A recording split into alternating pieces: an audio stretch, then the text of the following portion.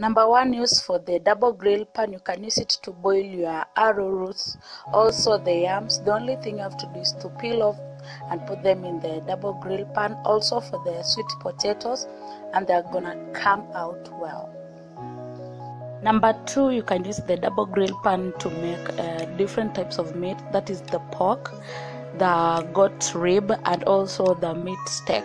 So the only thing you have to do is you can even watch my pork video as I explain of how to make pork using the double grill pan, but you can use it to make different meats. At number three, did you know if you don't have an oven, you can use the pan to make a cake?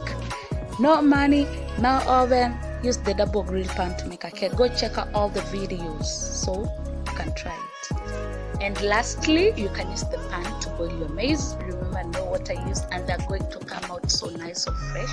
So that's all. And I know there are many, many more things that you can use with the pan. So don't forget to like, share, comment, and subscribe. See you on the other video.